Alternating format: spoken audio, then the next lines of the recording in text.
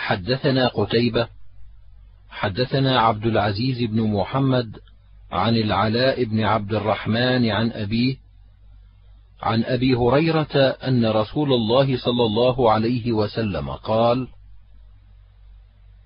من صلى صلاة لم يقرأ فيها بأم القرآن فهي خداج وهي خداج غير تمام.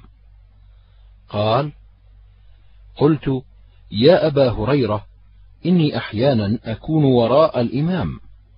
قال: يا ابن الفارسي فاقرأها في نفسك، فإني سمعت رسول الله صلى الله عليه وسلم يقول: قال الله تعالى: قسمت الصلاة بيني وبين عبدي نصفين، فنصفها لي ونصفها لعبدي، ولعبدي ما سأل.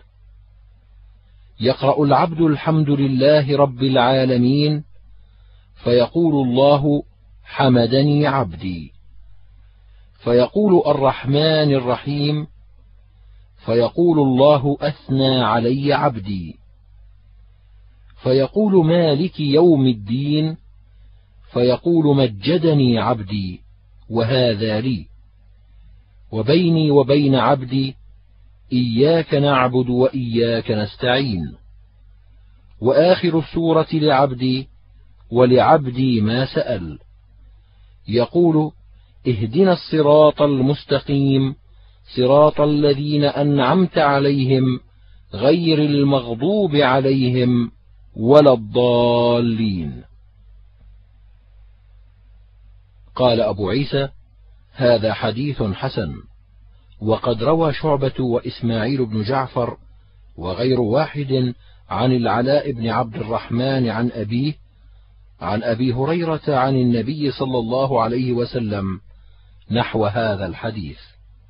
وروى ابن جريج ومالك بن أنس عن العلاء بن عبد الرحمن عن أبي السائب مولى هشام بن زهرة عن أبي هريرة عن النبي صلى الله عليه وسلم نحو هذا.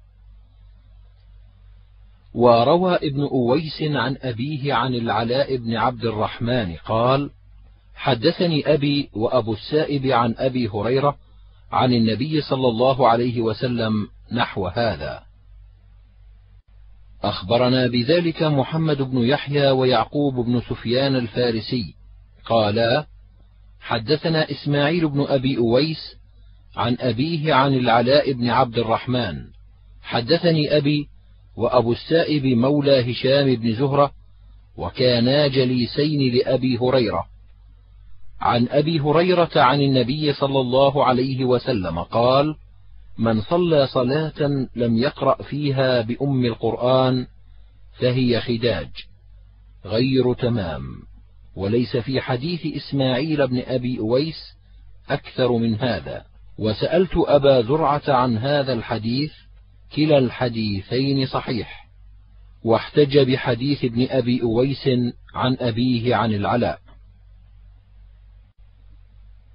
أخبرنا عبد بن حميد أخبرنا عبد الرحمن بن سعد أنبأنا عمرو بن أبي قيس عن سماك بن حرب عن عباد بن حبيش عن عدي بن حاتم قال أتيت رسول الله صلى الله عليه وسلم وهو جالس في المسجد. فقال القوم هذا عدي بن حاتم وجئت بغير أمان ولا كتاب. فلما دفعت إليه أخذ بيدي. وقد كان قال قبل ذلك إني لأرجو أن يجعل الله يده في يدي. قال فقام فلقيته امرأة وصبي معها. فقالا إن لنا إليك حاجة. فقام معهما حتى قضى حاجتهما. ثم أخذ بيدي حتى أتى بي داره. فألقت له الوليدة وسادة فجلس عليها. وجلست بين يديه. فحمد الله وأثنى عليه. ثم قال ما يفرك أن تقول لا إله إلا الله فهل تعلم من إله سوى الله؟ قال قلت لا. قال ثم تكلم ساعة ثم قال إنما تفر أن تقول الله أكبر وتعلم أن شيئا أكبر من الله؟ قال قلت لا. قال فإن اليهود مغضوب عليهم وإن النصارى ضلال. قال قلت فإني جئت مسلما. قال فرأيت وجهه تبسط فرحا. قال ثم أمر بي فأنزلت عند رجل من الأنصار جعلت أغشاه آتيه طرفي النهار. قال فبين أنا عنده عشية إذ جاءه قوم في ثياب من الصوف من هذه النمار. قال فصلى وقام فحث عليهم. ثم قال ولو صاع ولو بنصف صاع ولو بقبضة ولو ببعض قبضة يقي أحدكم وجهه حر جهنم أو النار ولو بتمرة ولو بشق تمرة.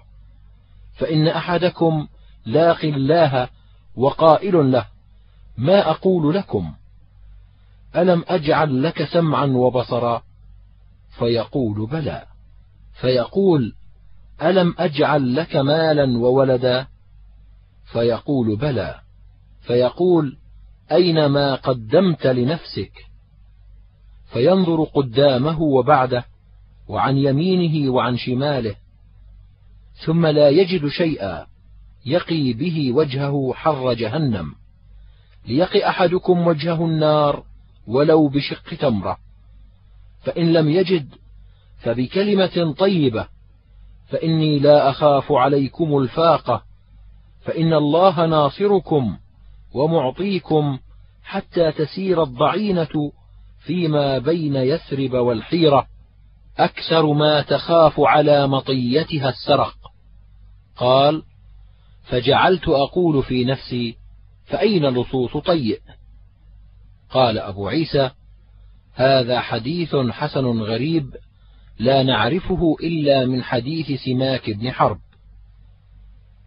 وروى شعبة عن سماك بن حرب عن عباد بن حبيش عن عدي بن حاتم عن النبي صلى الله عليه وسلم الحديث بطوله.